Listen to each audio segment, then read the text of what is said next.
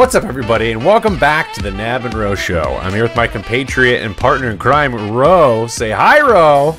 Hi, kids. And welcome back to the podcast. I will apologize, and I'm sure Ro feels the same, but it's really my fault. I had a friend I haven't seen in like a year plus coming to town on Wednesday this week where we typically do recordings, so I did that instead. So this is coming out a little bit later. So my apologies, everybody. That's completely my fault. Sorry, Ro. It's okay. I mean, we have lives outside of here. And That's right. No. that's fine. I, I enjoyed having the night off, so it was great. no, we have no life but the Knab and Ro show. That is final. No, I'm just kidding. but I, I okay. So just to give you guys a little preface here before we get started, we did not plan anything. We didn't get questions together like we typically do. We didn't plan for this one. We just said, "Oh my God, we are passionate about this. We hate dumb drivers. Let's talk about it." Because yes.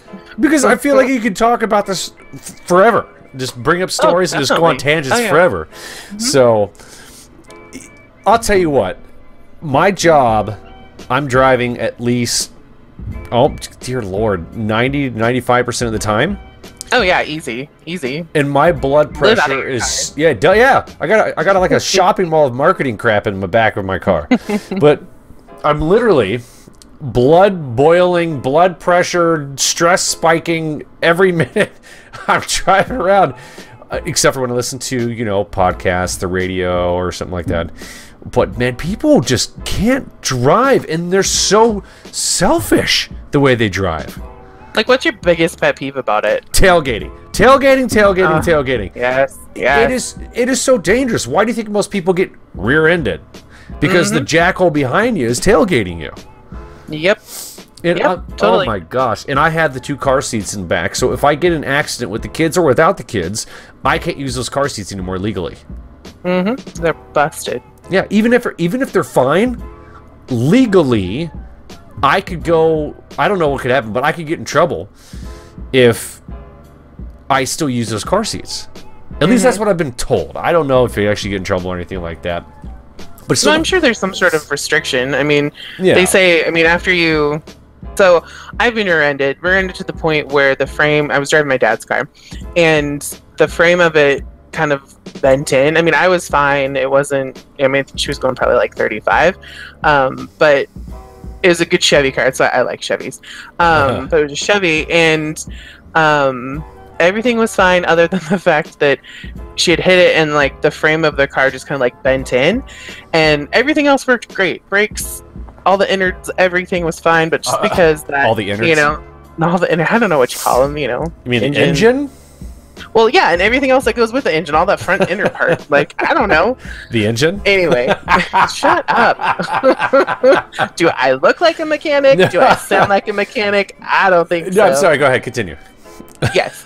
Anyway, so just because the frame was like bent, it was deemed totaled, which completely Yeah. boggled my mind because you're like, well, it just it looks fine. well, th- okay, think of it like this. Imagine your house, there was a bad earthquake, and the entire foundation was cracked from one side of the house to the other and completely shifted like a foot or six inches, you know, like a big shift. That would deem the house unsafe, and they'd probably have to demolish and get rid of it. oh yeah, pro- I mean, yeah, I totally yeah, because of That- structural damage. Yeah, well, that's basically the frame. The frame is the structure and the foundation of each car. At least, and again, I'm not a mechanic either, but in my, from my knowledge, that that's what it is. Like the frame gets jacked up. Yeah, you can cut it and weld it together and fix things, but it's never going to be, you know, completely That's safe true. again. Yeah. I mean, my Mustang is like that. The whole back end is welded back on it. Because it has a salvage rebuilt title on it. Whatever the guy did that had it before me, there was a big accident. I didn't really ask the question. I drove it. I had mechanics look at it. It was fun. but the, you can see. Just wanted a shiny car. Yeah. Well, it's not shiny much anymore. It's it's a real man's car. But oh jeez. it is welded on the frame and the back end of it where you could tell where it was at an accident. I mean, they did they, full detail, new paint job. Yeah. Well, it needs another paint job, but it used to did have a new paint job. Yeah, they did. I mean, a little bit of add, add you know, additions to it and whatnot, but yeah, I mean, I would love to go back. I'm never going to find the guy, but I'd love to go back and find the guy and get the story on how Mm-hmm. that happened. Were you rear-ended? Were you driving it like a schmo? I mean, what was the story from it? You know what I mean? And so you, Yeah. you say your dad's car was it a like an SUV or a truck? Uh, it was a Chevy Blazer. Mm, Yeah, Chevy Blazer. So it was small, but right. you know. It was like a Not like a mid-size SUV. Yeah, yeah, yeah. It was nice. It was. I mean, it was. It was good. Was fine. So I mean, you said I, I I know I have a horrible memory. You rear-ended somebody or somebody? no, I was you? rear-ended. Yeah. So how did yeah. your engine get all jacked? It didn't. It was just the frame. Everything else was fine, but the frame. And that's it. That's the only reason. That's it. That's the only reason. And they Oh, that's it, right. You yeah. said the innards. Yeah. the all innards the innards were fine. were fine. That's right. Yeah. See, this is what happened. You confused me. Come on. That's right. I, I prefer you to call me the Knab. Right? We we just discussed this. Knab. That's right. Yeah. That sounds so wrong in so many ways. So, what is your pet peeve? So, mine is the tailgating. I can't stand it. Oh. What's yours? yeah, tailgating is is definitely up there. It's my number two, but my and I, you know, it could be people are be like, why this?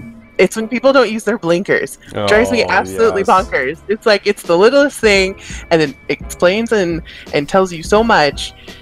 Yet people don't use them, and it drives me absolutely bonkers. I just I can't do it. It drives me bonkers. Because it's too hard just to go in there and flip a tiny little switch, which becomes habitual where your body does it, even if you're just going around a turn uh, sometimes. yeah, exactly. So it's hard for me to fathom how you don't use one. Right, exactly. That's my thing too. I was like, okay, well, thank you for not using your blinker. Like I say that out loud all the time. Yeah. It just it just irritates me because it's you're communicating to the other drivers around you what you're gonna do. And I don't like I don't like surprises. So maybe that's my issue.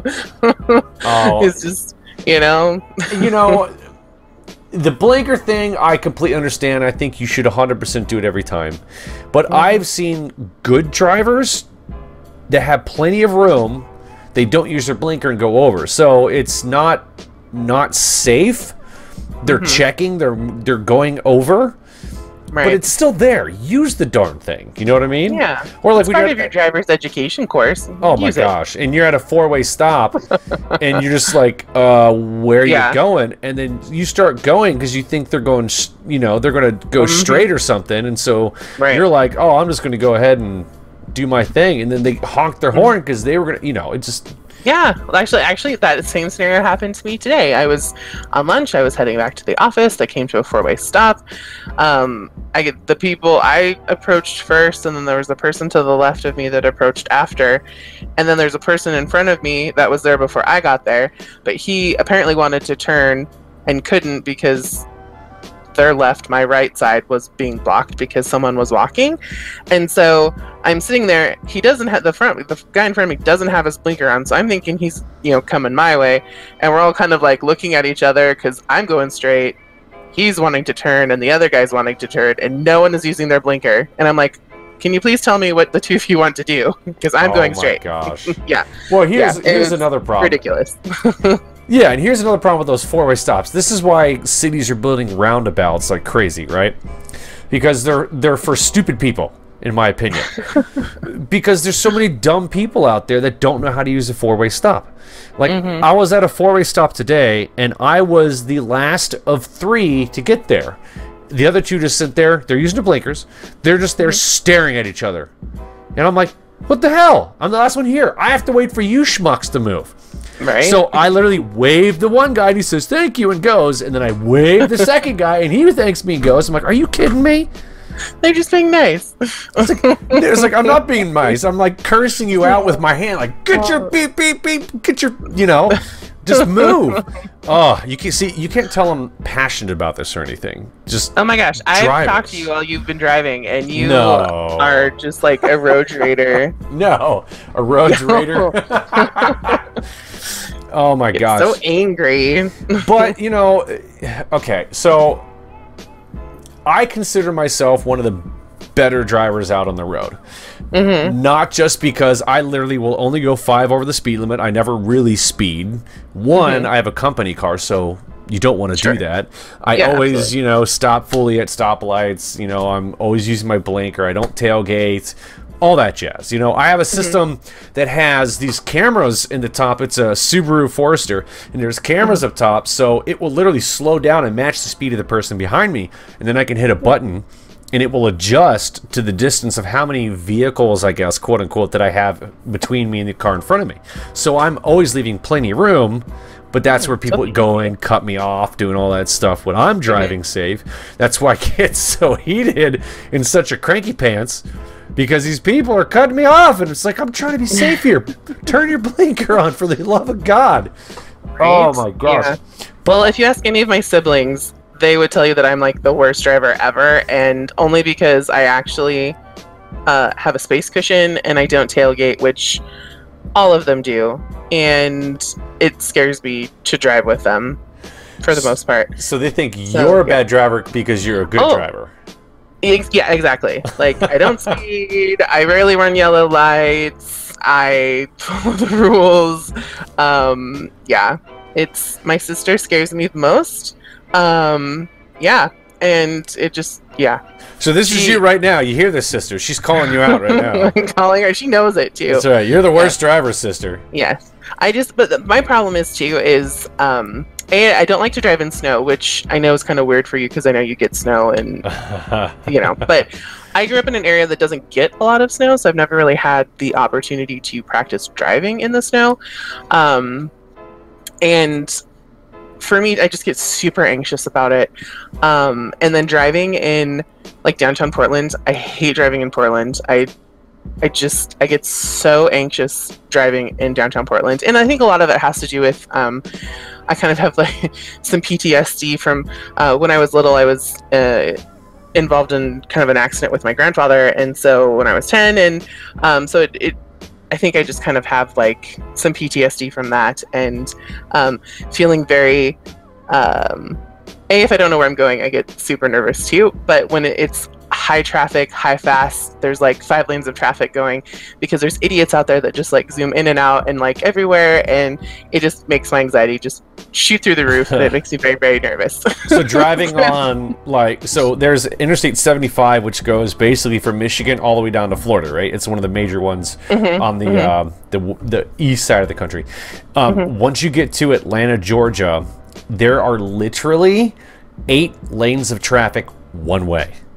Yeah, that just makes me so anxious. And Just here's the thing. So anxious. If you're just even thinking about it. Oh yeah, if you're staying on 75, there is a part where within one exit you get on and then you have to go immediately back off. So across all lanes of traffic to get to your exit. No. It is nuts. And I have towed with my mom when I was moving back from Florida. I lived in Daytona Beach. Uh, we were moving back to Ohio, and I was towing a small U-Haul. And so I had to bob and weave that. I was, it was a Jeep Cherokee. I had to bob and weave that through traffic. And oh my gosh, people do not care They don't. if you're trying to It's- merge.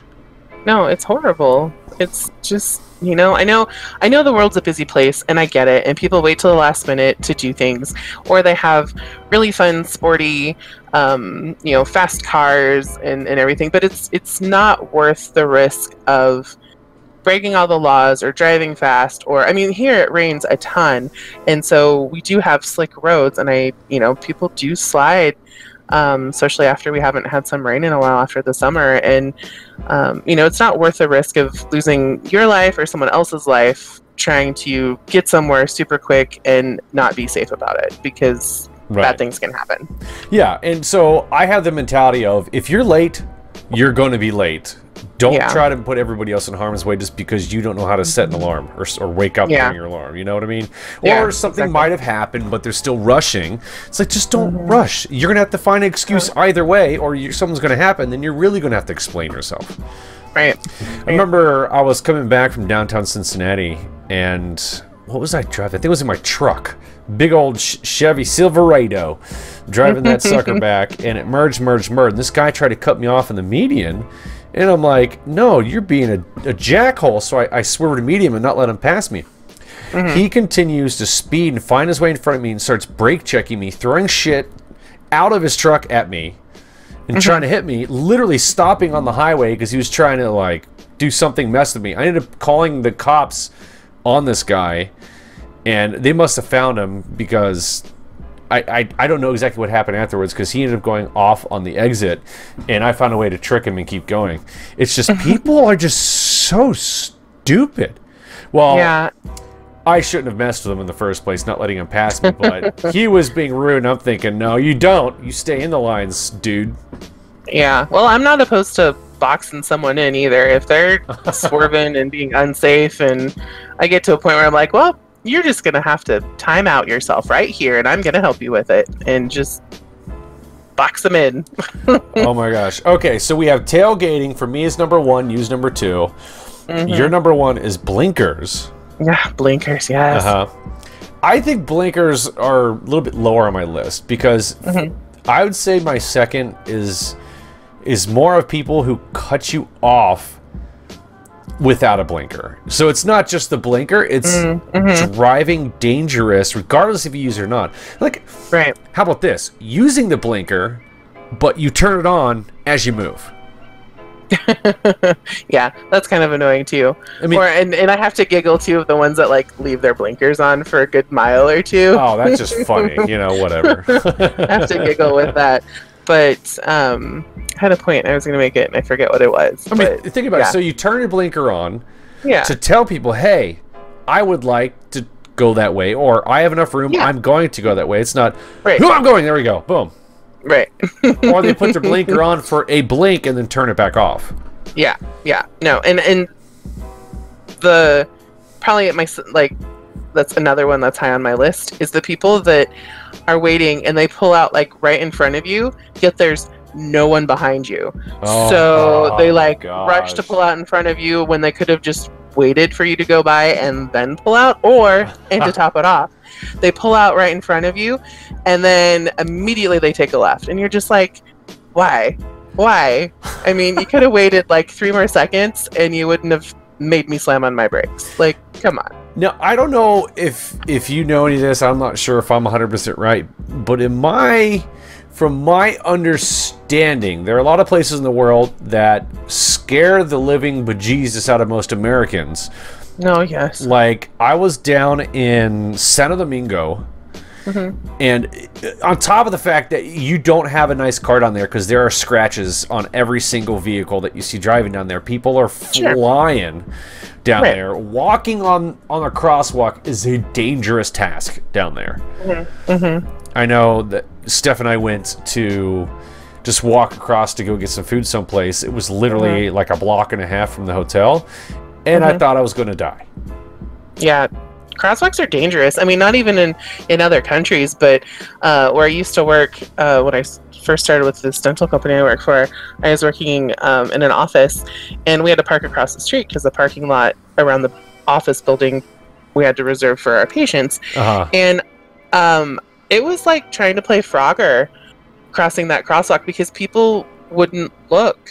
I mean, they would they would see that they had the green light, but they wouldn't see they wouldn't be paying attention to the people that are waiting to cross. So normally, what happens when the green light's on? That's the time that the people cross. So all these people that are wanting to take you know rights down the street don't see the crosswalk people, and they almost get hit, and it's it was so scary. I mean, there was numerous times that I got almost got hit, and I'm just like, especially early in the morning when because we had to be there at like 6:30, Uh-huh. so it was dark by the time I got there during the winter time. And I can't begin to tell you how many times I almost got hit, or other coworkers too. yeah. It was just it was just crazy. You just got to be careful. Although I will say, I saw this thing on Facebook a while ago, and they had these like X crosswalks where like, Oh, yeah, yeah, yeah, yeah, stopped, right There's right. one in Nashville. yeah, well, I went to one, or when I went to Reno, they had one by this casino that we were by, and we needed to cross the street. It was like the craziest thing. I mean, it was super, super effective and way safe because there's no traffic going anywhere. And if you wanted to, you know, so instead of going like making an L, if you wanted to get to the other side, you could just cross down the middle of the street and it was super effective and I'd never seen it and, or like seen it in person just saw it on Facebook and it was really effective and I'm surprised they don't use that more Yeah, no, I, because I mean, it's basically like okay, you can walk anywhere. Just you know, yeah we're gonna shut Mhm. down all lanes. Yeah. you guys Yep. go ahead. Yeah, it was really nice. It was weird to me though, Yeah, because there's me not too. a lot I was of like, those. whoa. This is not this is not not used to this. This is crazy. I'm just not supposed to be walking in the middle of the street right now. Yeah, it, exactly. went, it went against all of my I went against all of my growing up knowledge of you know how to cross the street correctly. So think about the cultures of the United States of different type of mm. crossroads for different situations or locations. For example, at Ohio mm. State, there were really there was a, a, a like-minded conception of how drivers are supposed to react near crosswalks on campus. And a mm-hmm. majority of the time is on campus, you always stop if someone's waiting, you let them go. Like they have mm-hmm. the right of way. It's on mm-hmm. campus.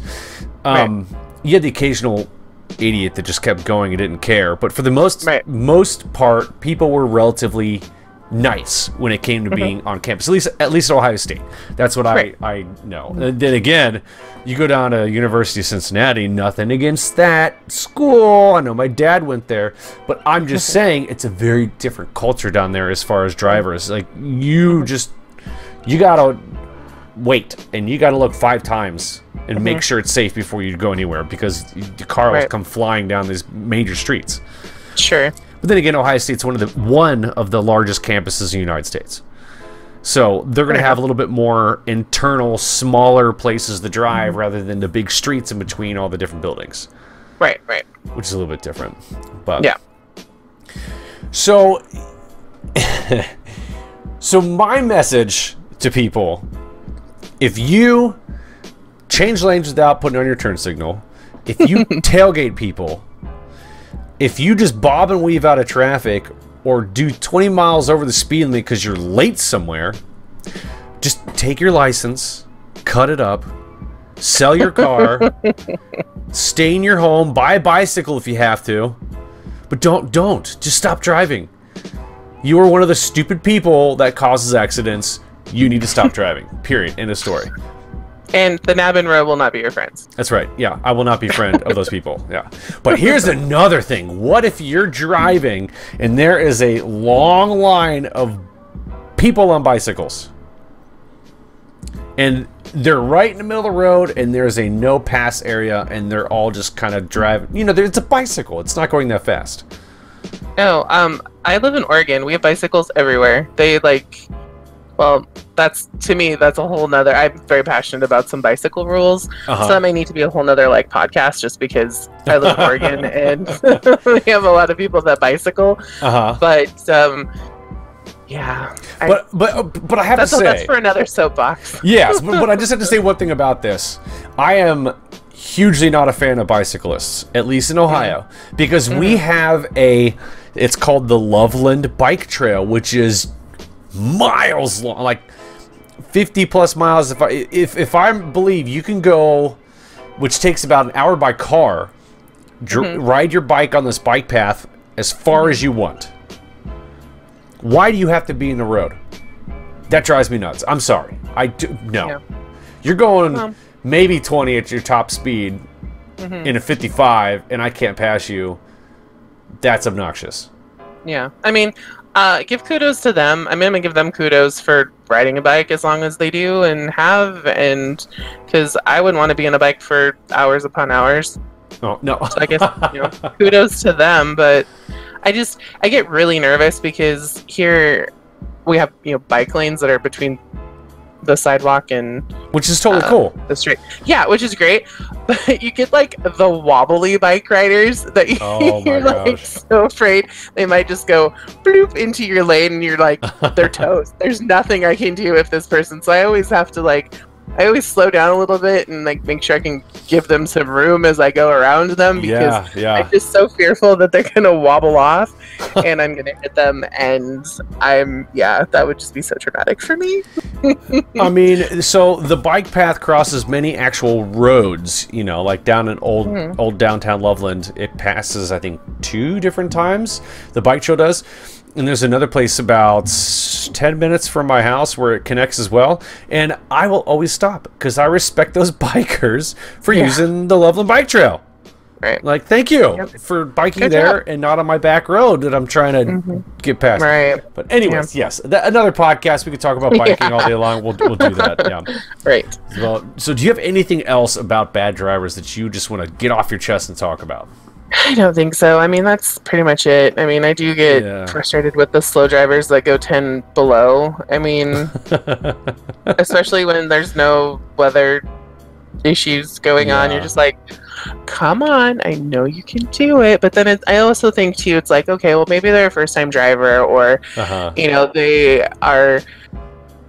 They haven't driven in a while. They've had some traumatic experience, and they're you know trying to you know get back on the bike or the horse or whatever, and and kind of conquer fears or whatever. And um, you know, like I've been there. I've I've felt that anxiety and that pressure, and um, you know, like I get it. Uh, but Yeah. I'm just like, And that's okay, okay. i'm in a place. Yeah. I mean, people chop chop, but still. in inclement weather like that, they really need to drive Oh, a little yeah. bit safer, especially Oh, if you sure. have that person that has a two-wheel rear wheel drive car. You know, Mm-hmm. that is the worst scenario for driving one of those things. Now, mind you, the Mustang, I love driving in the snow because I get to go sideways up a hill. It's fun. It's Ugh, very no. enjoyable. Ugh, I love driving so in the snow. thinking about it. no, no, no. It was actually on the highway. It took a 45 minute drive. Took me two hours to get home. I was in the Mustang. It just started snowing because that's the only car I had at the time. Mm-hmm. And part of the highway dips down. I'd say maybe 35 degree angle, and then goes up again at, at another 35, maybe 45 degree angle. And to get up, I had to rev my engine and keep the RPMs up to move the tires. And my tire back of my car pitched to the right. I turned my my steering wheel to the right and basically went sideways up the highway right next to people. And they're just looking at me like bug eyed. I'm like, it's the only way I can move up this hill. it's literally the only way I can okay. go up. Yeah. It's okay. I got it under control. Yeah, but th- but to me, that's the difference between people that can drive specific vehicles in those situations, and Right. others that have no idea what's going on and are like, "That guy can't drive." Yeah. Like, no, no, no, no, no. You just Right. don't know how to drive in snow. Right. and that's why I call my dad to take me to work. Oh, thanks, Dad. uh, well, guys, I think we'll leave that one there. We've we've touched base on things. I feel like if we stayed on our soapbox, we just keep going on and on and Oh, talking yeah. about things, and whew, we're gonna get heated and go down that rabbit hole. Oh yeah, yeah, definitely. But in the Don't- midst, No road rage on an iPodcast. no, no, on an iPodcast. Very nice, yeah, nice Ro. Yeah, whatever. oh my gosh, it's, it's late. It's a Friday, and It's okay. It's okay. I'm tired. Uh, I've burnt. I burnt out. That's my that's my excuse for Hey, that. It could be on an iPodcast. You don't know. It could, It could very Hey. well, guys. Maybe. it could be. Just Maybe saying. in a couple months it might be. Who knows? exactly. But in the midst of all this craziness with this pandemic of the coronavirus, um, and I don't know, Ro and I haven't decided if we want to actually talk about it. See if we can find someone that's you know a scientist to talk. I don't. I don't know. We were just playing as it's the biggest thing right there, or right here, right now in the world to talk about. But we don't know enough about it to really talk about. So we're we'll debate and go from there. Yeah. Well, because we don't want to be insensitive about it too, because you know it does affect a lot of people, and Correct. and and you know, but there's a lot of things else out there. But I just I feel like this particular thing is just kind of out of control at the moment, It's everywhere. and yeah. it, it's just everywhere, and and we want to be, um, you know. understanding of everybody's situations and everything and and the reason why things are happening the way they are um so you know it's just something we we, we may touch about touch about later Right. on um but um you know let's definitely w- keep washing those hands and um keep everybody safe Sanitizer. Don't forget to buy your TP before it's all gone. no i like that's the, okay yeah i was gonna we're not i know because i'm just gonna open a whole can of Ah, yeah. Well, the should just stop right there. yeah, exactly. we're gonna end it right there I mean, we you could. talked re- about yeah. cars and drivers not toilet paper and coronavirus That's right. That's right. well, guys, thank you so much for listening to the podcast. If you like this podcast, go ahead and jack that like button right in the nose. Don't forget to tell your friends and family all about the Knab and Rose Show. And as always, this podcast is a wrap. till next time kids